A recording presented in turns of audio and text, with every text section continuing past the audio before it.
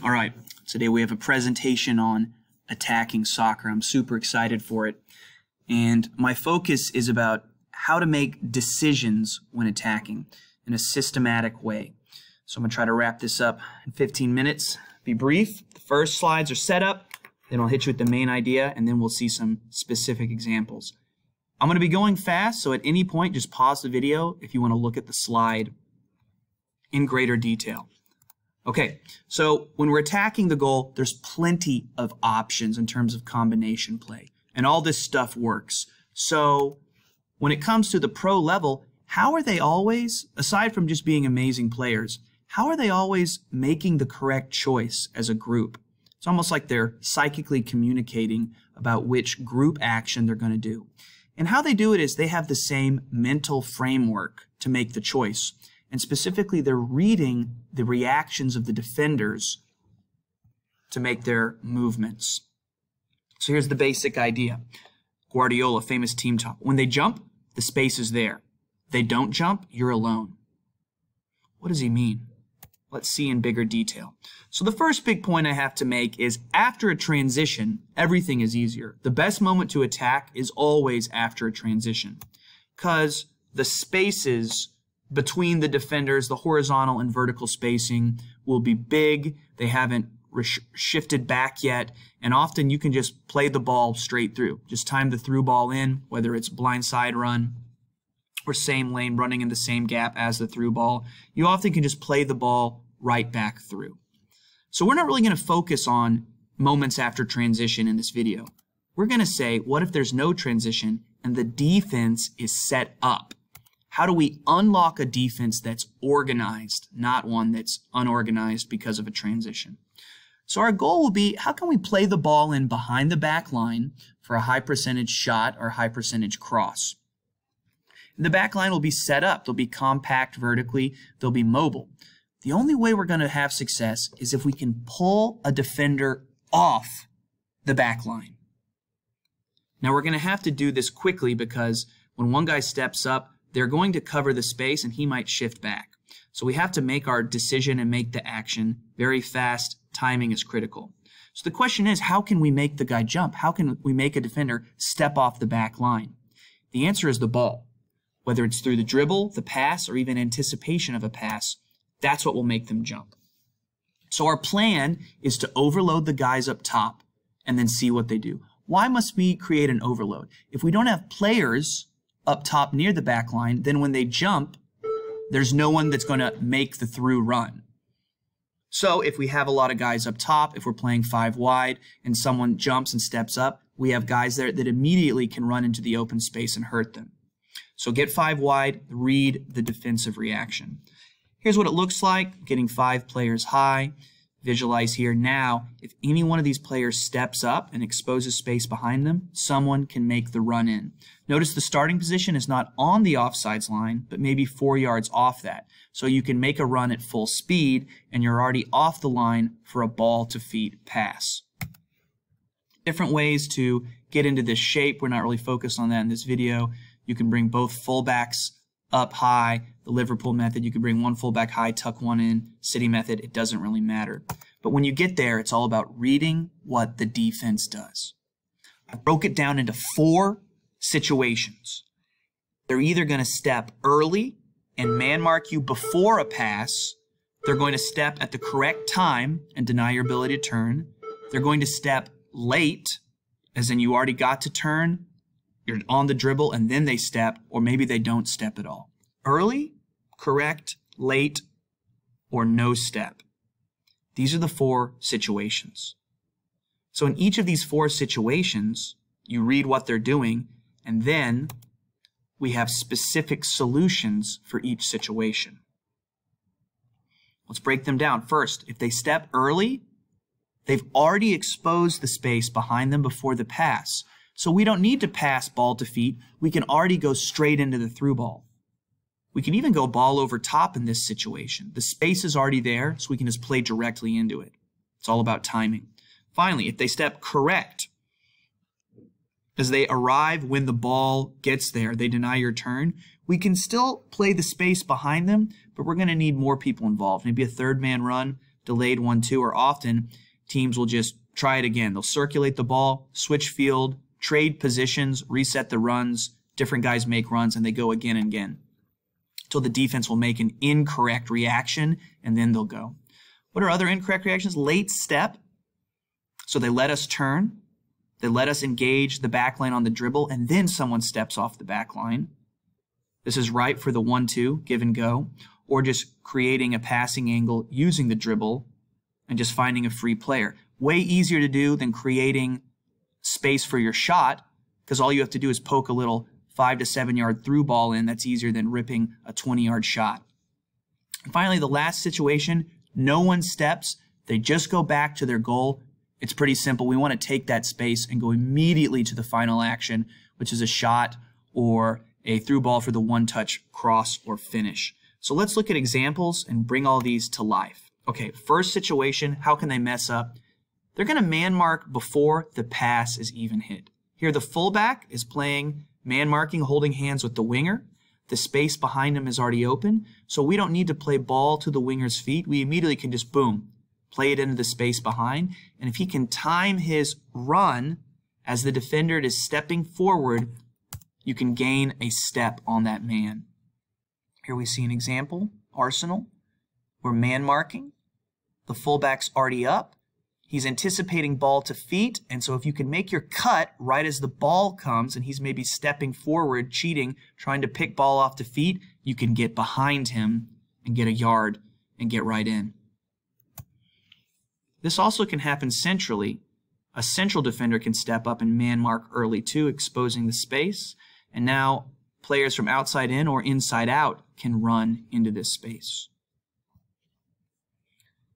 Here we have a maybe like an attacking mid who's gotten high and he's checking towards the ball.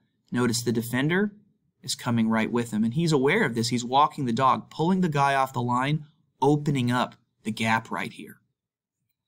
The winger knows about it too. He's ready to time his movement and on the pass, he hits a double cut, cuts off the back foot, catches the defender flat and beats him into the space, a massive gap, an easy through ball. This is a different moment, literally the same game. Both of these resulted in goals. It's almost the same play. Center back comes up, trailing the attacking mid. He knows what he's doing. He's creating the opening. A double movement cut. Look at his body position low, cutting off that foot. Notice the fullback slightly cheating over there.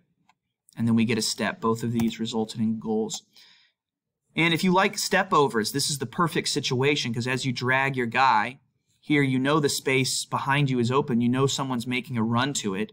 So a ball coming to you, you know works better as a through ball, and you just let it go. Maybe you spin and try to follow the play up. Beautiful. Okay. What if they don't jump early and they move as the pass moves and they arrive right when the pass gets there and they deny our turn? There's still going to be space open behind the defender briefly before the back line shifts and we might be able to access that space. So here's a sophisticated way on a third man run. We need two other players. Since this guy can't turn and play into the space, he can drop the ball off for one guy to make the pass and another guy makes the run. It's all about timing here. If both of these guys try to make a run, then the ball has to go back and circulate. One of the guy has to check towards and one of them has to make the run. If they both check towards and nobody makes the run, then there's no one to play there. So you have to get it right one guy has to check towards and one guy has to make the run. And the pass has to be one touch. Here's an example. Okay.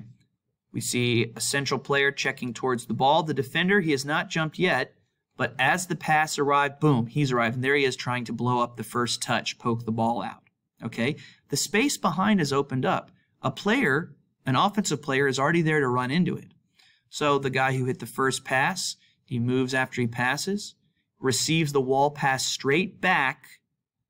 Look, this guy barely got the wall pass off because of the pressure on him.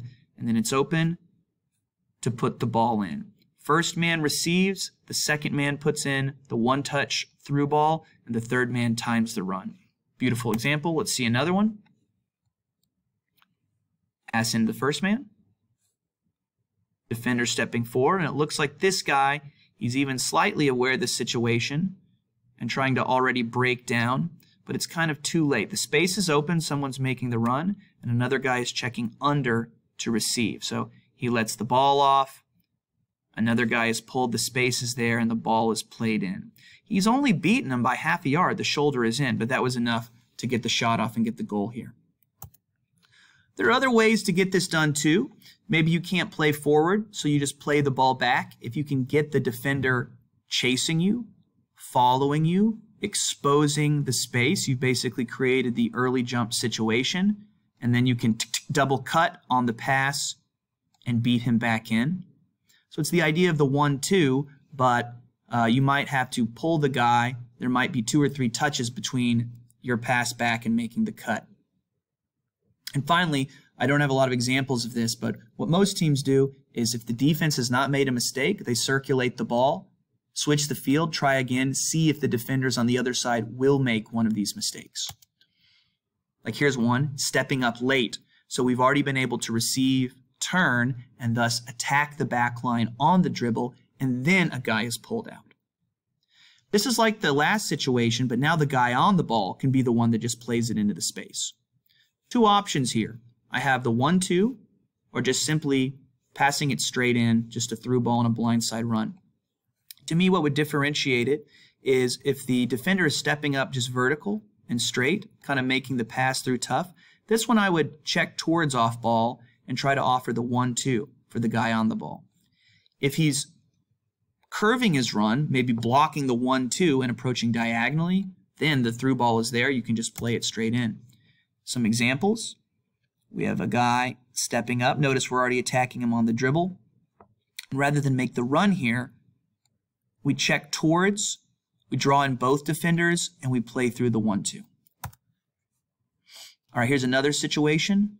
And check out this guy's approach. He's stepping up late, and clearly he's coming from here. He's coming diagonally. And so both runners can run in diagonally, and the pass can be diagonally as well. This is where you use the skill of the dribble to maybe make the guy bite, take that extra touch to create it. And finally, here's a common pattern of play where the, pay, the play is switched out to a wide winger. He receives to feet, and thus the fullback is dragged out diagonally because he was starting on the inside, and thus this inside-out blindside run is very high percentage to work there right? So he's stepping out diagonally because the play switched, so he has to, so that this inside-out run is wide open if you time it correctly, right? And look at the high percentage cross there.